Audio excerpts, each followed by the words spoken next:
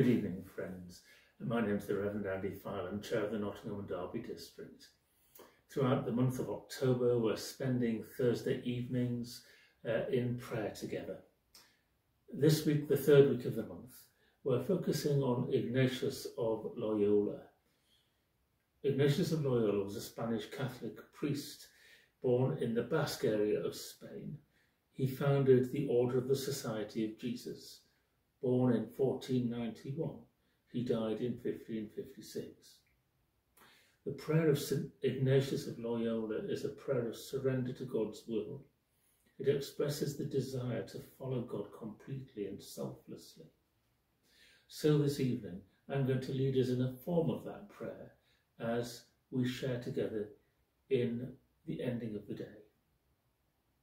We pray. Come, bless the Lord, all you his servants, who minister night by night in the house of the Lord.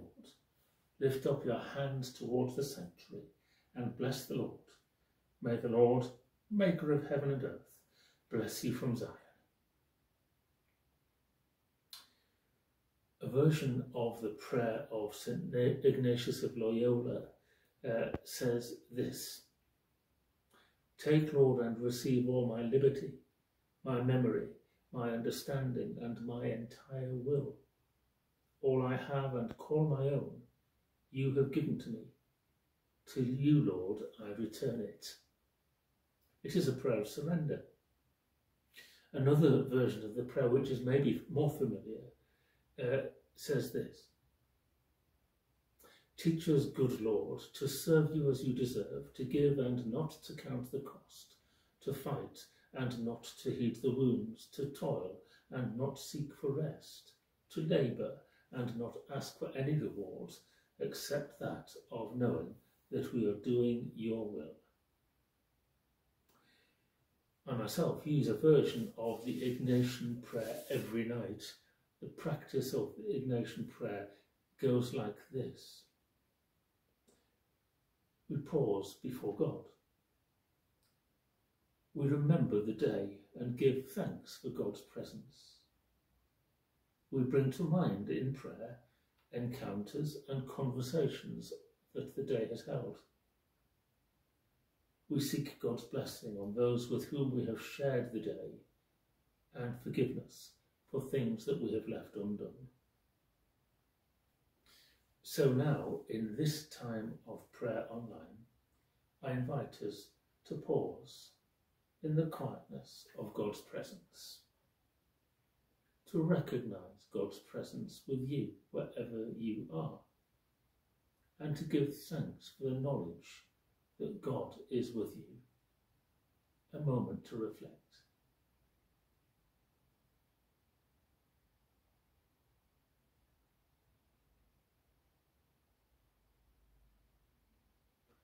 And now I invite you to gently bring to mind the encounters of the day and the conversations you have had, thanking God for the people with whom you spent the first moments today, whether that was in waking or at breakfast, or whether that was the first person you met this morning, wherever that might have been.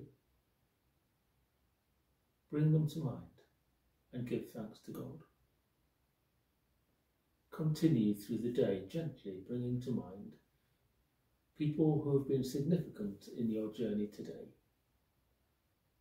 Through lunchtime, through the afternoon, through the evening, gently bring to mind those with whom you have spent this day, those you have met, the conversations which stay with you. A moment to reflect and pray.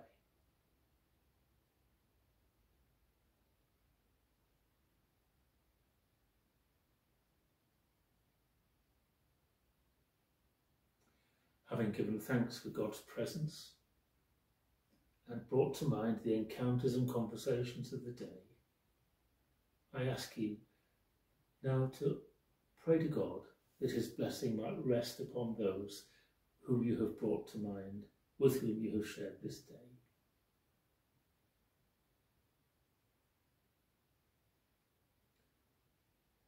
And If there are things we have left undone, ignored, or forgotten, ask God's forgiveness.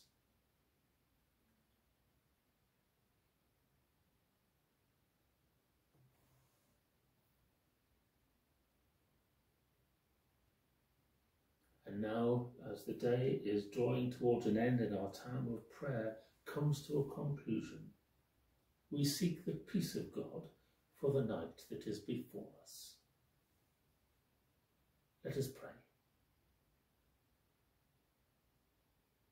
O God, in whom there is no darkness, with whom the night is as the day, enlighten us by your presence, that, waking or sleeping, we may dwell in your peace. In Jesus Christ our Lord. Amen.